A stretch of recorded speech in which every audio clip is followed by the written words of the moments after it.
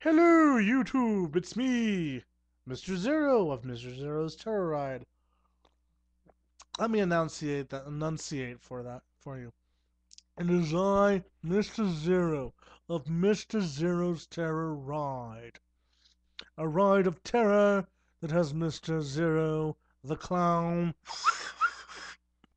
sans bulbous red nose. Well, bulbous, well, fake rubber nose. I still got the bulbous kind of reddish nose because I do this a lot, and I eat a lot of, a lot of, a lot of peppers because I like them.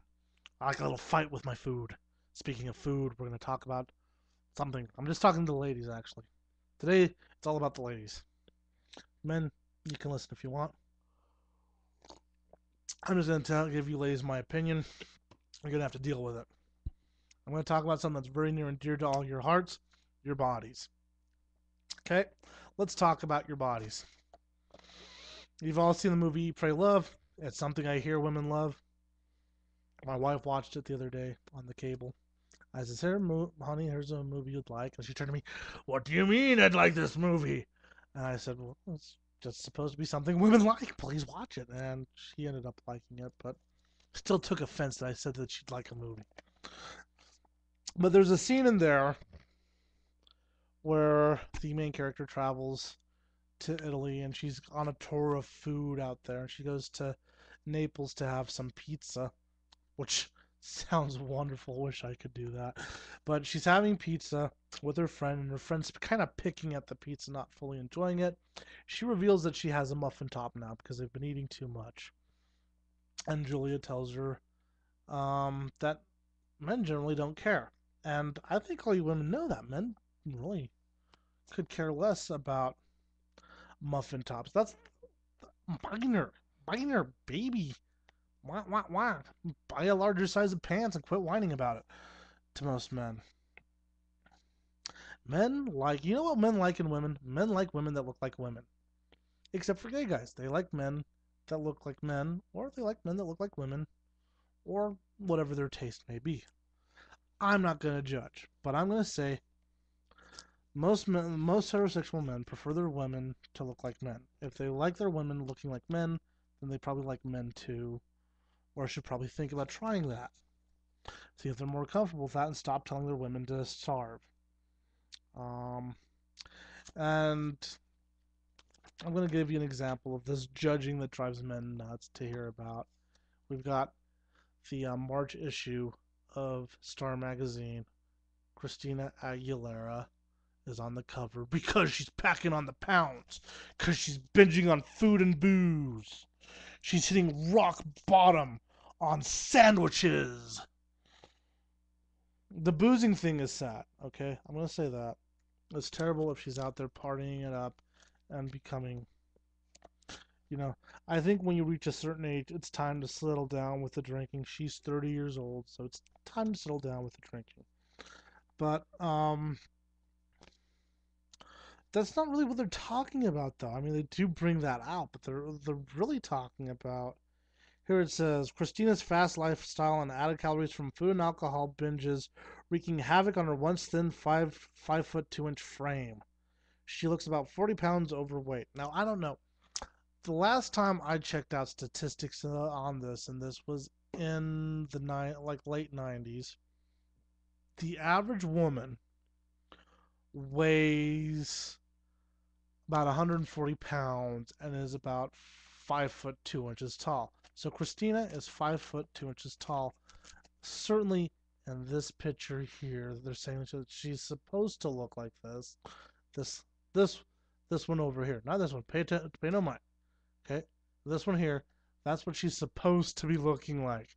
Like all women that are five foot two look like that. No, they don't. But that that's her being good. Now this is bad apparently. This is this is her being bad. Bad Christina. You had a sandwich. Oh, look at you. Oh, you're falling down. You're hitting rock bottom. Look at you. Now obviously I'm like going, huh? Huh? They even say packing on the pounds. She turned heads for all the wrong reasons while performing at the 2010 American Music Awards in November. No, she didn't. If she was turning heads for the wrong reasons because she wasn't really into that performance and you can tell her dancing. She's not like yeah i just started a movie that's gonna flop and i'm singing a song about you know she wasn't into it. But she didn't look terrible. I think that's unfair to say. It's ridiculous in fact because when you judge women like this when you judge celebrities like that it's going to make women judge themselves like that. We all know this it's funny because back in the 80s, back in the 70s, back in the 80s, they thought maybe they'd like to show have models be more normal sized than and women weren't responding positively to that idea. But now they definitely are. Now women are saying, "Hey, enough's enough. Let's have let's have models that look like us." And so you have excellent models out there like that for that that you don't hear enough about. You have Emme, Kate Dillon, um, gosh, I'm embarrassed because I can only think of those two right now. There's one of the winners of America's Next Top Model. She was, she was a fiercely real contestant model on the show. And it's it's this it's in the mag these magazines that it's worse. You know, it's so much so much worse there.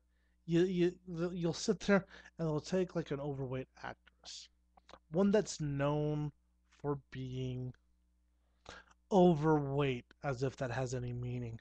One that's known for being bigger. And they'll sit there and say, let, let's say if it was Mo'Nique, okay, the comedian Mo'Nique. She has her own clothing line. She developed it because she knows women women of size have a hard time finding clothes that look good. Amen, sister. So she came out with her own clothing line just for just for women of size. So if she sits there, if she was able to drop a hundred pounds in a month or two, everyone around her would be like, "Oh, bravo, girl! You're so brave, and we're proud of you," and blah blah blah. You know, heck, drop 50 pounds. I'll be, they'd be sitting there singing her praises. But then someone like Christina puts on 40 pounds. Oh, yeah, she's a porker. I get sick of hearing about this. I guess because it's, it's it's totally not my view, and I'd hate to think that women think that that is men's view because it's not. You guys are judging yourselves on that. At least that's my opinion. I'm a big advocate for women of size taking charge of themselves and not being afraid to go out there and show themselves for who they really are. And my wife's the same way. My wife's the same way. Uh, she always sits there and says, "Never buy anything baggy if you're a woman. Always show off your curves." So do that, ladies. And as far as Christina Aguilera is concerned, for the first time in her 30 years of life, she's actually looking good to this Joe here. I've never considered her attractive. She was always way too skinny for my taste. But now it's like, hey, good, it's good. She's she's had a cracker. Good. I guess that's all I've got to say. Ladies, enjoy your food and enjoy your lives and don't let anyone make you feel bad for who you are. That's all I'm saying. Not to be all gaga on Lady Gaga on you. Would Be proud of who you are. I was born this way, but that's the way it is. Be happy with who you are don't let anyone tell you that you're any less just because of how you look or how you feel. It's all on the inside of what counts. And when you reach this age, you should know that. You should spend, like, from your 30s on up just knowing that and telling everyone else where to stick it. And that's all I've got to say. In communication, it's the end of this geek talking.